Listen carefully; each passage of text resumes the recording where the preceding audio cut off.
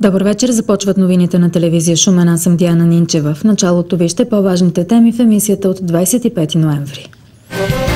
Четири фирми ще отговарят за зимната поддръжка на община Шумен. Автомобили, които пречат на почистването на малките улици, може да бъдат репатрирани. Вандалски прояви забавят ремонта на водопровода в квартал Дивдядово. Въпреки това се очаква рехабилитацията да приключи до десетина дни. Оправдаха управителите на строителната фирма ПМ-96 по обвинението за смъртта на двама работници. Служителите загинаха при токов удар през 2011 година. Около 105 милиона лева са необходими за подновяване на магистралния водопровод от язовир Тича до Шумен, строителството на пречиствателната станция за питейни води и рехабилитация на помпените станции на ВИК. Това каза на брифинг в общината днес заместник кметът по строителство и екология инженер Иван Йонков. Той обясни, че магистралният водопровод е част от краткосрочната програма и стратегия, одобрена от държавата през областния съвет за развитие – по думите му, следващите години ще се наложи да се прави спешен принудителен ремонт на този водопровод, защото авариите зачастяват все повече. И още от общинския брифинг. Четири фирми ще отговарят за зимното почистване на община Шумен.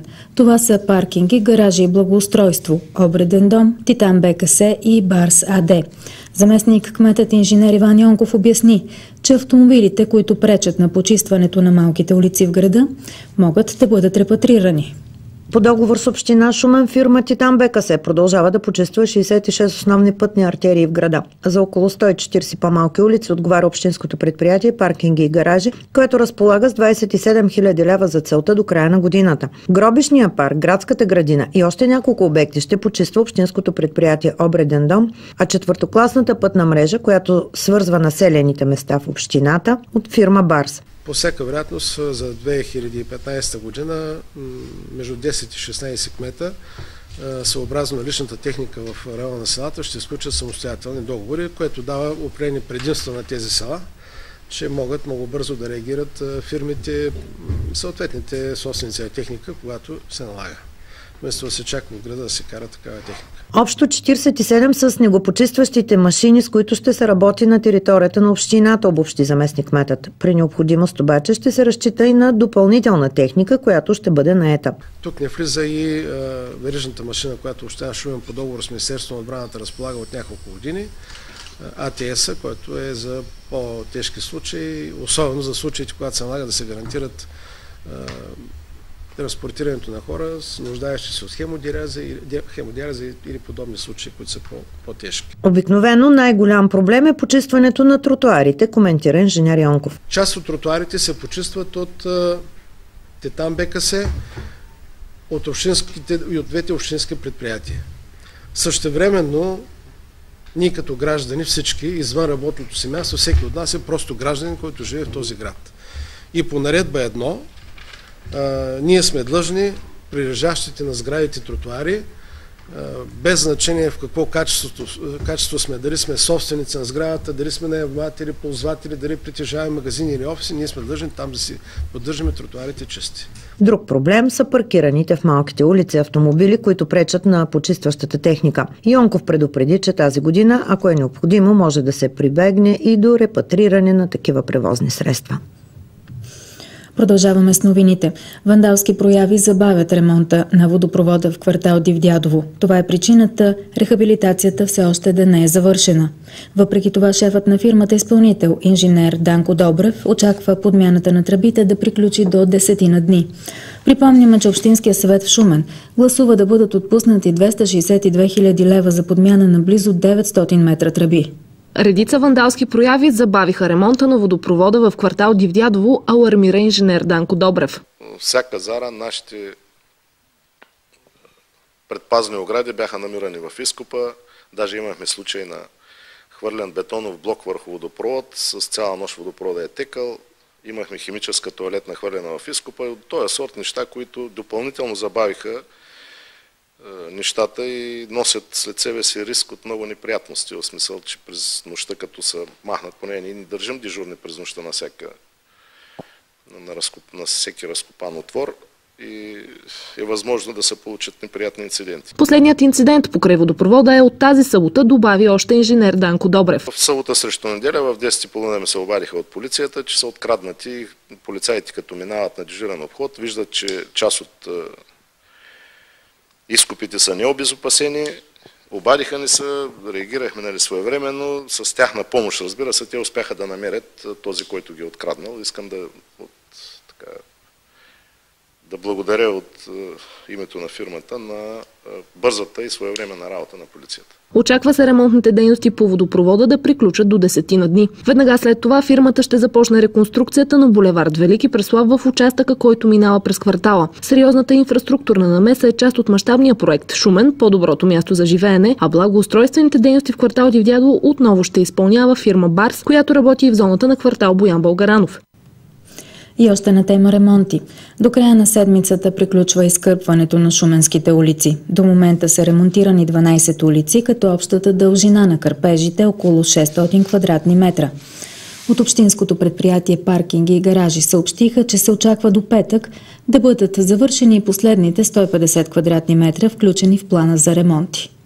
До края на тази седмица ще приключи изкърпването на улиците в града. На нас не остана до този момент да правим улица Милан Борисов. Това е пред а, помощното училище. За момента само тя не остана. Другите сме ги по възложените писма от общината сме ги изкърпили. Самуил Илиев коментира и кои участъци са били най-трудни за изкърпване. Най-трудни бяха Дидия Гач улица, Раковска към Кьошковите, Колюфичето, Владайско възстание, участъка до пожарната. Самуил Илиев допълни още, че по списъка подаден от общината са изкърпени общо 12 улици. Продължаваме с работата на общинските съветници. Бюджетната комисия към Общинския съвет в Шумен одобри отчета на Консултативния съвет за управление и финансиране на младежки проекти в изпълнение на стратегията за развитие на младите хора. През настоящата година са реализирани 4 проекта на обща стойност 3400 лева. През настоящата година консултативният съвет е разгледал 6 проектни предложения. Две от тях не са отговаряли на условията, заложени в правилника на програмата за кандидатстване и затова не са получили одобрени. Реализираните проекти са уличният танц като начин за борба с агресията на стойност 1000 лева, младежкият мюзикъл за богатството и бедността на стойност 800 лева, планинско колоездене за начинаещи 600 лева и поредица от три прожекции на български исторически филми на стойност 1000 лева. Според председателят на бюджетна комисия Христо Дечев, стартът на стратегията не е съвсем успешен. Всъщност, каква е ползата от това, че тази стратегия все пак стартира и някакви пари се харчат? Защото вътре в докладната те са съобразили с нашите изисквания малко по-широчко да напишат. Написали са какви са проектите, но какви са ползите, не можа да видя. Подобно мнение изрази общинския съветник Христо Николов. Добрите пожелания, които са записани в тази наредба, може би не са стигнали до всички младежи или по, по-скоро до по-голямата част от младежите. И може би заради това резултатите са такива. Но в доброто начало подкрепям господин Дечев, че наистина е едно добро начало. Но се вижда от самите резултати, че има още много работа, която трябва да бъде свършена, защото аз добре познавам младежките организации в град Шумен. Дълги години съм имал възможност да работя с тях и познавам добре техните възможности. Това се разминава изключително много от техните възможности, от техните знания, които са придобили по подготовката на такива проекти, свързани с младежки дейности. През месец ноември са поступили още три проектни предложения, става ясно от отчета на консултативния съвет. Сега към новините от съдебната зала. Оправдаха управителите на строителната фирма ПМ 96 Марияна Радева и Петър Въчев по обвинението за смъртта на работниците Пенчо Делчев и Борислав Бонев. Двамата служители загинаха в нелеп инцидент през 2011 година, поразени от електрически ток при монтажни дейности. Решението е на Шуменския окръжен съд и може да се обжалва пред апелативната инстанция във Варна. Фаталният инцидент станал на 7 юли преди 3 години. 22-годишният Борислав Бонев и 43-годишният Пенчо Делчев били в бригадата строяща производствен цех в индустриалната зона на Шумен. Заедно с двама свои колеги те местили метално скеле на колела, когато върхът му закачил 20 кВ далекопровод. Протеклият ток убил на място Делчев, а по-младият му колега починал на път за болницата. Двамата управители на фирмата бяха обвинени в немърливо изпълнение на задълженията. Според прокуратурата, престъплението е извършено при условия условията на независимо съпричиняване с неустановен служител на електроразпределение Варна Клон Шумен с правоприемник Енергопром мрежи. След като предназначението на земята било сменено, съгласно нормативната уредба, височината на далекопровода е трябвало да бъде вдигната от 6 на 7 метра. Това обаче не се е случило, тъй като служителят не изпълнил задълженията си. В досъдебното производство било изискано името му. От дружеството обаче отговорили, че не могат да посочат конкретно име и разследването в тази посока спряло. Присъдата може да се обжалва и протестира пред апелативния съд във Варна. Още теми в емисията. Мерки за недопускане на разпространението на птичи грип сред животните прие днес областната епизоотична комисия в Шумен. Причината за заседанието стана получена заповед от Българската агенция по безопасност на храните заради констатирани огнища на болестта в Холандия, Германия и Великобритания. Представителите на здравните власти подчертаха изрично, че до сега в България няма нито един случай на птичи грип.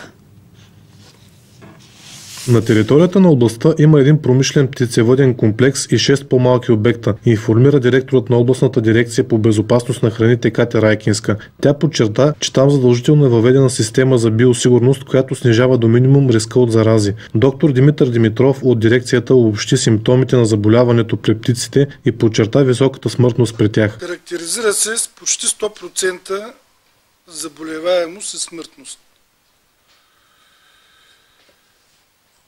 При рекомбинация на вируса между човек и животни се постига и висока смъртност при хората. Това прави заболяването особено опасно, както за животните, в случая птиците, така и за хората. Представителите на здравните власти информираха, че общо в целия свят за последните 10 години са регистрирани между 300 и 400 случая на заболели хора, а доказаните смъртни случаи са около 150. Пред комисията бяха изложени подробности за болестта и готовността на Шуменската болница за справяне с заразени от птичи грип. Стана ясно, че има достатъчни запаси от противогрипни медикаменти и антибиотици, а при нужда проби от пациенти ще се пращат в Националната референтна лаборатория в София. Птичия грип поразява основно птиците и е необходимо да прекрачи видовата, да прескочи видовата бариера от птичия род към човешкия род. Така че това става чрез мутация на вируса и въобще не е лесно. За периода от 2003 до 2013 година са заразени около 300-400 човека, но вече заразен човека прекарва заболяването много тежко и леталитета на въпроса на господин Панайотов е 50-60% при заболял болен от тичи грип. МБАЛ Шумен, като най-голямото лечебно заведение на територията на областта, има готовност за посрещане и лечение на такива пациенти. Лечението на тези пациенти, съмнителни най-напред поставям, ударението върху думата, ще се осъществява в инфекциозно отделение от много добре обучени квалифицирани лекари с една и две специалности. Целият персонал включително медицинските специалисти и санитарите, са много добре инструктирани. Членовете на комисията единодушно приеха предложените мерки. Те включват заседания на общинските епизодични комисии, съвместни проверки с орнитоложките дружества, ловно-рибарските дружества и държавните лесничейства за наличие на болни или умрели диви птици, постоянен контрол на птицефермите и пазарите на животни и други. Бяха набелязани и препоръки към собствениците на птицеводни обекти. Поглед към по-важните теми в емисията на кратко сега. Четири фирми ще отговарят за зимната поддръжка на община Шумен. Автомобили, които пречат на почистването на малките улици, може да бъдат репатрирани. Вандалски прояви забавят ремонта на водопровода в квартал Дивдядово. Въпреки това се очаква рехабилитацията да приключи до десетина дни. Оправдаха управителите на строителната фирма ПМ-96 по обвинението за смъртта на двама работници. Служителите загинаха при токов удар през 2011 година. Само след минути продължаваме с прогнозата за времето и след нея с спортните новини. Останете с нас.